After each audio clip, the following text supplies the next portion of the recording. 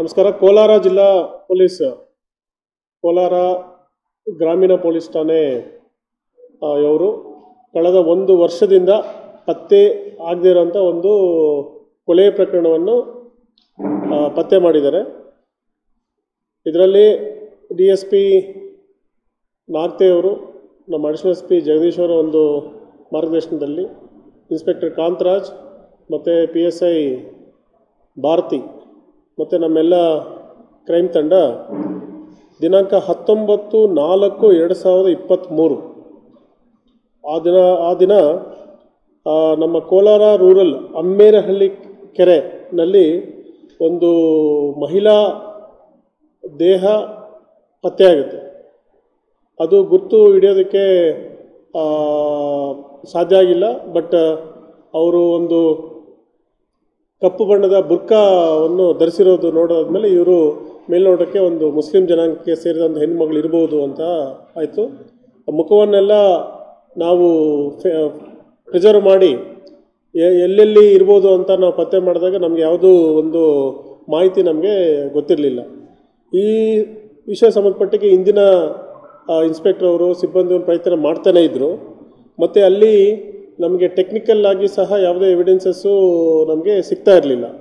ಹಾಗಾಗಿ ಕಳೆದ ಒಂದು ವರ್ಷದಿಂದ ಈ ಕೊಲೆ ಕೇಸ್ ನಮಗೆ ಬೇದ ಏನು ಕ್ರ್ಯಾಕ್ ಮಾಡೋಕ್ಕಾಗಿರಲಿಲ್ಲ ಬಟ್ ಕಾಂತರಾಜ್ ಅವರು ಚಾರ್ಜ್ ತಗೊಂಡ ನಂತರ ಈ ಕೊಲೆ ಆರೋಪಿಯನ್ನು ಪತ್ತೆ ಹಚ್ಚಿದ್ದಾರೆ ಒಂದು ವರ್ಷದ ನಂತರ ಅಂದರೆ ದಿನಾಂಕ ಇಪ್ಪತ್ತೊಂದು ಮೂರು ಎರಡು ಸಾವಿರದ ಇಪ್ಪತ್ತ್ನಾಲ್ಕು ಅಂದರೆ ಕೊಲೆ ನಡೆದ ಸರಿಸುಮಾರು ಸೇಮ್ ಡೇ ಕೊಲೆ ಆರೋಪಿಯನ್ನು ಪತ್ತೆ ಮಾಡಿದ್ದಾರೆ. ಇದು ವೆರಿ ಇಂಟ್ರೆಸ್ಟಿಂಗ್ ಇರೋದ್ರಿಂದ ನಾನು ಈ ಈ ಪ್ರೆಸ್ ಬ್ರೀಫಿಂಗ್ನ ಕರೆದಿದ್ದೀನಿ.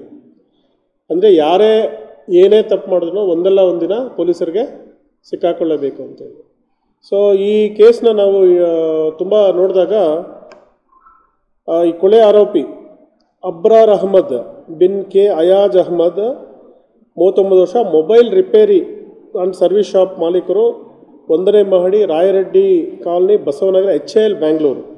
ಇವ್ರ ಸ್ವಂತ ವಿಳಾಸ ಒಂದನೇ ಕ್ರಾಸ್ ನೂರ್ನಗರ ಕೋಲಾರ. ಇವರು ಕಳೆದ ಒಂದು ಹತ್ತು ವರ್ಷದಿಂದ ಬೆಂಗಳೂರಿನ ಎಚ್ ಎಲ್ ಮತ್ತು ಮಾರತಲ್ಲಿನಲ್ಲಿ ಮೊಬೈಲ್ ಅಂಗಡಿ ರಿಪೇರಿ ಶಾಪು ಇಟ್ಕೊಂಡು ಜೀವನ ಮಾಡಿಸ್ತಾ ಇದ್ದಾರೆ. ಇವರ ಅಂಗಡಿಗೆ ಯಾರು ಮೃತ ದೇಹ ಆಗಿದೆ ಅದನ್ನು ಪತ್ತೆ ಮಾಡಿದಾಗ ಅವರು ಸುಲ್ತಾನ ತಾಜ್ ಅಂತ. ಅವರು ಸಹ ಎಚ್ ಎಲ್ ಇಸ್ಲಾಂಪುರ ನಿವಾಸಿ.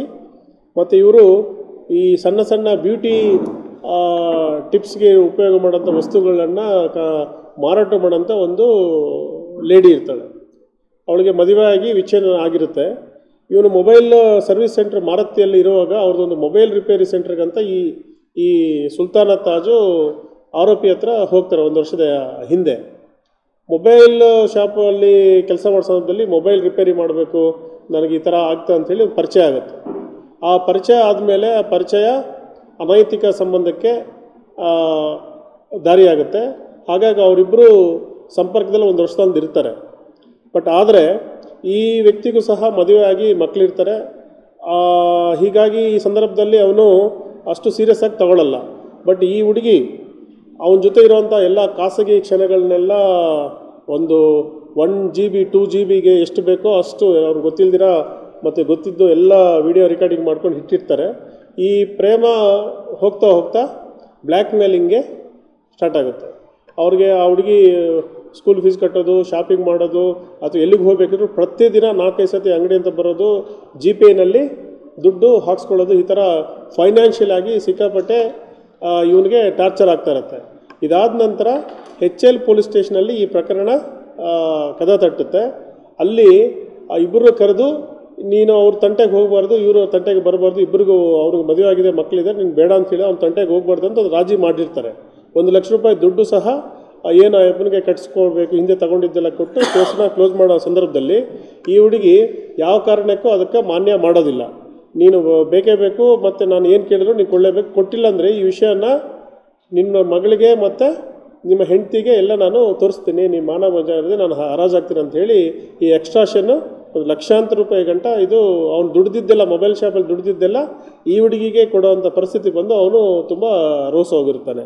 ಈ ಸಂದರ್ಭದಲ್ಲಿ ಆ ದಿನಾಂಕ ಹದಿನೇಳು ನಾಲ್ಕು ಎರಡು ಸಾವಿರದ ಇಪ್ಪತ್ತ್ಮೂರು ನಲ್ಲಿ ಅವರು ಬೆಂಗಳೂರು ಹೆಚ್ ಎಲ್ ಮುಖಾಂತರ ಈ ಹುಡುಗಿ ಹತ್ರ ನಾನು ಮಾತಾಡಬೇಕು ಬನ್ನಿ ಅಂತ ಅದು ಸಹ ಪವಿತ್ರ ರಂಜಾನ್ ಮಾಸ ಆಗಿರುತ್ತೆ. ನಾವು ಇಫ್ತಾರನ್ನ ಇಫ್ತಾರ್ನ ಬ್ರೇಕ್ ಮಾಡೋಣ. ನಾವು ಕೂತ್ಕೊಂಡು ಚೆನ್ನಾಗಿ ಮಾತಾಡೋಣ ಅಂತ ಹೇಳಿ ಈ ವ್ಯಕ್ತಿ ಮತ್ತು ಇವನ ಜೊತೆ ಇನ್ನೊಬ್ಬ ಸಾದಿಕ್ ಪಾಷಾ ಅಂತ. ಯಾರು ಈ ಆರೋಪಿ ಇದ್ದಾನೆ ಅವರ ಬಾಮೈದ. ಇಬ್ಬರು ಹೋಗಿ ಆ ಎಮ್ಮನ್ನ ಒಂದು ಸಾಂಡ್ರೋ ವೆಹಿಕಲಲ್ಲಿ ಅಲ್ಲಿಂದ ಕರ್ಕೊಂಬಂದು ಮಾತಾಡಬೇಕಂತ ಹೇಳಿ ಲಾಂಗ್ ಡ್ರೈವ್ ಮಾಡಿಕೊಂಡು ಈ ಟೋಲ್ಗಳಲ್ಲಿ ಪಾಸ್ ಆಗದಿರ ಬೇರೆ ಬೇರೆ ಊರುಗಳಲ್ಲಿ ಬಂದು ಕೋಲಾರ ಅಮ್ಮೇರಹಳ್ಳಿ ಕೆರೆಗೆ ಸುಮಾರು ಒಂದು ಏಳು, ಎಂಟು ಗಂಟೆಗೆ ಬಂದು ಸೇರ್ತಾರೆ. ಅಲ್ಲಿ ಕೂತ್ಕೊಂಡು ಈಗ ನಡೆದಿದ್ದು ನಡೆದೋಯ್ತು. ನಿನ್ನ ಮೇಲೆ ನಾನು ತಂಟೆಗೆ ಬರಬೇಡ ಅಂತ ಮಾತಾಡೋ ಸಂದರ್ಭದಲ್ಲಿ ಮಾತಿಗೆ ಮಾತಿಗೆ ಬೆಳೆದು ಜಗಳ ಆಗುತ್ತೆ. ಜಗಳ ಮಾಡಿದಾಗ ಈ ಸಾದಿಕ್ ಪಾಷ ಮತ್ತು ಇವರು ಇಬ್ಬರು ಸೇರಿ ವೇಲ್ನಿಂದ ಅವಳಿಗೆ ಕುತ್ತಿಗೆಗೆ ಬಿಗಿದು ಅಲ್ಲೇ ಇರೋಂಥ ಒಂದು ಸ್ಕ್ರೂ ಡ್ರೈವರು ಮತ್ತು ಇನ್ನೊಂದು ಜಾಕ್ ಅಂತ ಆಯುಧದಿಂದ ತಲೆಗೆ ಮತ್ತು ಪೆ- ಆ, ಆ, ಎದೆ ಏನು ರಿಬ್ಸ್ಗೆ ಚುಚ್ಚಿ ಮರ್ಡರ್ ಮಾಡ್ತಾನೆ ಮರ್ಡರ್ ಮಾಡಿ ಅದನ್ನು ಕಲ್ಲುಗಳೆಲ್ಲ ಸುತ್ತಿಬಿಟ್ಟು ಬಾಡಿ ಮೇಲೆ ಬರಬಾರ್ದಂತ ಕೆರೆ ಕೆರೆಯಲ್ಲಿ ಎಸೆದ್ಬಿಟ್ಟು ಈ ವೆಹಿಕಲ್ನ ತಿರ್ಗಾ ವೇಮಲ್ಗಡ ವೇಮ್ಗಳ ಹತ್ರ ಬಂದು ಆ ಸಾದಿಕ್ ಪ್ರಶ್ನೆ ಕಳಿಸ್ಬಿಟ್ಟು ಇವನು ಆ ಗಾಡಿನ ಎಲ್ಲರನ್ನ ಕ್ಲೀನಾಗಿ ಮಾಡಿಸಿ ತಿರ್ಗಾ ಬೆಂಗಳೂರಿಗೆ ಹೋಗಿ ಏನೋ ಗೊತ್ತಿಲ್ಲದಿರೋ ರೀತಿಯಲ್ಲಿ ಕಳೆದ ಒಂದು ವರ್ಷದಿಂದ ಇರ್ತಾರೆ. ಈಗ ಇದರಲ್ಲಿ ಟೆಕ್ನಿಕಲ್ ಆಗಿ ನಾನು ಯಾಕೆ ಪದೇ ಹೇಳ್ತಾ ಇದ್ದೀನಂದರೆ ಈ ಮೊಬೈಲ್ ಅಂಗಡಿಯಲ್ಲಿ ಕೆಲಸ ಮಾಡೋಂಥ ಈ ವ್ಯಕ್ತಿ ಪೊಲೀಸರು, ಮೊಬೈಲ್ ಕರೆಗಳು ಅಥವಾ ಇನ್ನೊಂದು ಇನ್ನೊಂದು ಮುಖಾಂತರ ನಮ್ಮನ್ನು ಪತ್ತೆ ಹಿಡಿತಾರೆ ಅಂತ ಮೊದಲೇ ಇದು ಪ್ಲ್ಯಾನ್ ಮಾಡಿ, ಬರೋಬ್ಬರಿ ನಲವತ್ತೈದು ಸಿಮ್ ಕಾರ್ಡ್ಸ್ನ ಚೇಂಜ್ ಮಾಡಿ ನಲವತ್ತೈದು ಮೊಬೈಲ್ ಫೋನ್ಸ್ನ ಏನೇನು ಅವ್ರ ರಿಪೇರಿಗೆ ಬರುತ್ತೋ ಆ ರಿಪೇರಿಗೆ ಬರೋಂಥ ಮೊಬೈಲ್ಸ್ಗಳನ್ನ ಈ ಹುಡುಗಿ ಜೊತೆ ಮಾತಾಡೋದಕ್ಕೆ ಮತ್ತು ಸ್ಪಾಟಿಗೆ ಬರೋದಕ್ಕೆಲ್ಲ ಉಪಯೋಗ ಮಾಡಿರ್ತಾರೆ. ಸೊ ನಮ್ಮವರು ಬರೋಬ್ಬರು ಅರವ, ಅರವತ್ತೈದು, ಆರು ಲಕ್ಷ ಆರು ಲಕ್ಷ ಕಾಲ್ಗಳನ್ನು ನಾವು ಆ ಟವರ್ ಡಂಪಲ್ಲಿ ನಾವು ಪ್ರಯತ್ನ ಮಾಡಿದಾಗ ಈ ಎಲ್ಲ ಮೊಬೈಲ್ ನಂಬರ್ಸು ಬೇರೆ ಬೇರೆ ನಂಬರ್ ಒಂದು ವರ್ಷ ಯಾಕೆ ನಮ್ಗೆ ಟೈಮ್ ಆಯಿತು ಅಂತ ಹೇಳಿದ್ರೆ ಯಾರ ಹತ್ರ ಹೋದ್ರೂ ಸಹ ಮೊಬೈಲು ಬೇರೆಯವ್ರದ್ದಾಗಿರುತ್ತೆ ಆರೋಪಿದು ಮೊಬೈಲ್ ಇರಲ್ಲ. ಆರೋಪಿದು ಸಿಮ್ ಕಾರ್ಡೇ ಇರೋದಿಲ್ಲ. ಆಮೇಲೆ ಅಲ್ಲಿ ಸ್ಪಾಟ್ಗೆ ಬಂದಿದ್ದು ಸಹ ನಮಗೆ ಗೊತ್ತು ಇದನ್ನು ಒಂದು ದೃಶ್ಯಂ ಥರ ಅಂದರೆ ಅವನು ಇಲ್ಲೇ ಬಂದೇ ಇಲ್ಲ.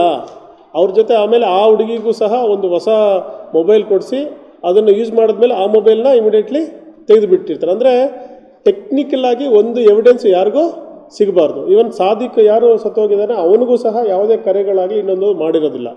ಬಟ್ ನಮಗೆ ಈ ನಮ್ಮ ಟೆಕ್ನಿಕಲ್ ಟೀಮ್ ಲಾಸ್ಟ್ ಕೊನೆಗೆ ಈ ಏನು ಆರು ಲಕ್ಷ ಕಾಲ್ಸ್ನ ನಾವೆಲ್ಲ ಐಡೆಂಟಿಫೈ ಮಾಡಿದಾಗ ಕೃತ್ಯದ ದಿನಾಂಕದಿಂದ ಒಂದು ನಂಬರ್ ನಮಗೆ ಸಿಗುತ್ತೆ. ಅದು ಸೀದಾ ಈ ಮೊಬೈಲ್ ಏನು ರಿಪೇರಿ ಅಂಗಡಿ ಮಾಡ್ತಾನೋ ಅಲ್ಲಿಗೆ ನಮಗೆ ಎಡೆತ್ತಾಗುತ್ತೆ ಆಮೇಲೆ ಎಚ್ ಎಲ್ ಪೊಲೀಸ್ ಸ್ಟೇಷನಲ್ಲಿ ಈಗೇನು ಮೃತ ವ್ಯಕ್ತಿ ವ್ಯಕ್ತಿಯ ಫೋಟೋಸ್ನ ನಾವು ಸೇರಿದಾಗ ಇವಳು ಸುಲ್ತಾನ ತಾಜ್ ಅಂತ ನಮಗೆ ಐಡೆಂಟಿಫೈ ಆಗುತ್ತೆ. ಆಮೇಲೆ ಕೇಸ್ ಇದು ಇವರಿಬ್ಬರಿಗೂ ಇವನಿಗೂ ಮತ್ತು ಆಯಾತ್ ಪಾಷೆಗೆ ಇಬ್ಬರಿಗೂ ಗಲಾಟೆ ಆಗಿತ್ತು. ಇಲ್ಲಿಗೆ ಬಂದಿತ್ತು ಅಂತ ವಿಶೇಷ ನಮಗೆ ಗೊತ್ತಾಗುತ್ತೆ. ಅದಾದ ನಂತರ ನಾವು ಈ ಹಿಂದೆ ಇದ್ದವರು ಸಹ ಯಾರು ನಮ್ಮ ಆಫೀಸರ್ಸು ಈ ಅಬ್ರಾರ್ ಅಹಮದನ್ನ ಕರೆದಾಗ ಅವರು ನಾನು ಅಮಾಯಕ, ನನ್ನ ನನ್ನ ಮೊಬೈಲ್ ಅಂಗಡಿ ನೂರಾರು ಜನ ಬರ್ತಾರೆ. ನಾನು ಕೋಲಾರ ಬಿಟ್ಟು ಎಷ್ಟು ದಿನ ಆಯಿತು, ನಾನು ಕೋಲಾರಿಗೆ ಬಂದೇ ಇಲ್ಲ. ಸುಲ್ತಾನ ತಾಜು ಅವಳು ನನಗೆ ದುಡ್ಡು ಕೊಡಬೇಕಾಗಿತ್ತು ಮೊಬೈಲ್ಸ್ ಎಲ್ಲ ರಿಪೇರಿ ಮಾಡಿ. ಹಾಗಾಗಿ ನಾನು ಮೊಬೈಲ್ ಸರಿಯಾಗಿ ರಿಪೇರಿ ಮಾಡಿಲ್ಲ ಅಂತ ಹೇಳಿ ನನ್ನ ಹತ್ರ ದುಡ್ಡು ಇಸ್ಕೊಂಡು ಅದಕ್ಕೆ ಎಚ್ ಎಲ್ ಪೋಸ್ಟ್ಗೆ ಬಂದಿದ್ದೆ.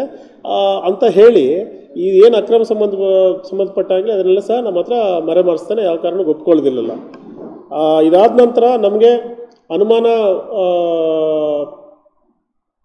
ಈ ವ್ಯಕ್ತಿ ಬಿಟ್ಟರೆ ಒಂದು ಎಚ್ ವ್ಯಕ್ತಿ ಯಾವತ್ತು ಕೋಲಾರ್ಗೆ ಬರೆದಿರೋರು, ಕೋಲಾರ್ಗೆ ಬಂದಿರಬೇಕು ಮತ್ತು ಅಮ್ಮೆ ಅಮ್ಮೇರೆ ಹಳ್ಳಿ ಕೆರೆಗೆ ಬರಬೇಕಂದ್ರೆ ಇಲ್ಲಿ ಕೆರೆ ಬಗ್ಗೆ ಗೊತ್ತಿರೋಂಥ ಯಾರೋ ಒಂದು ಲೋಕಲ್ ವ್ಯಕ್ತಿ ಇರಲೇಬೇಕು. ಇಲ್ಲಾಂದರೆ ಅಷ್ಟು ದೂರದಿಂದ ಇಲ್ಲಿಗೆ ಅವರು ಬರೋದಕ್ಕೆ ಸಾಧ್ಯ ಆಗಲ್ಲ ಅಂತ ಒಂದು ಕನ್ವೆನ್ಷನಲ್ ಮೆಥಡ್ ಮೇಲೆ ನಮ್ಮ ಅಡಿಷನಲ್ ಎಸ್ ಪಿ ರವಿಶಂಕರ್ ಅವರು ಒಂದು ಸ್ಪೆಷಲ್ ಟೀಮ್ ಮಾಡಿ ಈ ಕೇಸ್ನ ಒಂದು ಚಾಲೆಂಜಿಗೆ ತಗೊಂಡು ತಿರ್ಗಾ ಪದೇ ಪದೇ ಪದೇ ನಮ್ಮ ಕನ್ವೆ ಏನೋ ಅವನ್ನ ಪ್ರಶ್ನೆ ಮಾಡುವಂಥ ಸಂದರ್ಭದಲ್ಲಿ ಕೊನೆಗೆ ನಮಗೆ ಕರೆ ಮಾಡಿದ್ದೊಂದು ಮತ್ತು ಏನು ಯಾರು ನಮ್ಮ ಸಾದಿಕ್ ಪಾಷ ಯಾರು ತೀರೋಗಿ ಏನು ಇರ್ತಾರೆ, ಅವ್ರನ್ನ ಹುಡ್ಕೊಂಡು ನೂರು ನೂರಿಗೆ ಹೋ ನೂರು ನಗರಕ್ಕೆ ಹೋದಾಗ ಅವನು ಕಳೆದ ಒಂದು ತಿಂಗಳಿಂದ ಹಾರ್ಟ್ ಅಟ್ಯಾಕ್ ಆಗಿ, ಎರಡು ತಿಂಗಳಿಂದ ಹಾರ್ಟ್ ಅಟ್ಯಾಕ್ ಆ ಅಪ್ಪನು ಸತ್ತೋಗಿರ್ತಾನೆ. ಆ ಮನೆಯವ್ರನ್ನ ನಾವು ಕೇಳಿದಾಗ ಈ ಅಬ್ರಾರ್ ಅಹಮದ್ದು ಆ ಹೆಂಡ್ತಿನ ಆರೋಪಿ ಹೆಂಡ್ತಿ ಕೇಳಿದಾಗ ಸುಲ್ತಾನ್ ತಾಜ್ಗೆ ಮತ್ತು ಇವನಿಗೆ ಅಕ್ರಮ ಸಂಬಂಧಪಟ್ಟಕ್ಕೆ ಸ್ಟೇಷನ್ ಮೆಟ್ಲು ಹೇಳಿದ್ದ ಒಂದು ವಿಶೇಷ ಏನು, ನಮಗೆ ವಿಷಯ ಆಚೆ ಬಂದಾಗ ಆ ಪಾಯಿಂಟ್ನ ಇಟ್ಕೊಂಡ್ಮೇಲೆ ಅವನ್ನ ಗ್ರಿಲ್ ಮಾಡಿ, ನಮ್ಮ ಪೊಲೀಸ್ ತನಿಖೆ ಮಾಡಿದ ಸಂದರ್ಭದಲ್ಲಿ ಆರೋಪಿ ತಾನು ಈ ಎಲ್ಲ ಕೃತ್ಯ ಮಾಡಿದ್ದನ್ನು ಒಪ್ಕೊಂಡಿರ್ತಾನೆ. ಸೊ ಹೀಗಾಗಿ ಕೃತ್ಯ ನಡೆದ ಒಂದು ವರ್ಷದ ನಂತರ ಈ ಮರ್ಡರ್ ಕೇಸು ಒಂದು ಕನ್ವೆನ್ಷನಲ್ ಮೆಥಡು ಮತ್ತು ಟೆಕ್ನಿಕಲ್ ಡೀಟೇಲ್ಸಲ್ಲಿ ನಾವು ಏನು ಕೇಸೇ ಸಿಗಬಾರ್ದು ಅಂತ ಹೇಳಿ ಅದನ್ನು ಎಷ್ಟೇ ಪ್ಲ್ಯಾನ್ಡ್ ಆಗಿ ಮರ್ಡರ್ ಮಾಡಿದರೂ ಸಹ ನಮ್ಮ ಇನ್ವೆಸ್ಟಿಗೇಷನ್ ಆಫೀಸರ್ಸು ಮತ್ತು ಟೆಕ್ನಿಕಲ್ ಟೀಮ್ನ ಒಂದು ಚಾಣಾಕ್ಷರದಿಂದ ಈ ಕೇಸ್ ಪತ್ತೆಯಾಗಿದೆ ಹಾಗಾಗಿ ನಮ್ಮ ಐ ಜಿ ಪಿ ರವಿಕಾಂತೇಗೌಡ ಸಾಹೇಬರು ಮತ್ತು ನಾವು ಆ ತಂಡಕ್ಕೆ ಐದು ಸಾವಿರ ರೂಪಾಯಿ ಬಹುಮಾನವನ್ನು ನಾವು ಘೋಷಣೆ ಮಾಡಿದ್ವಿ.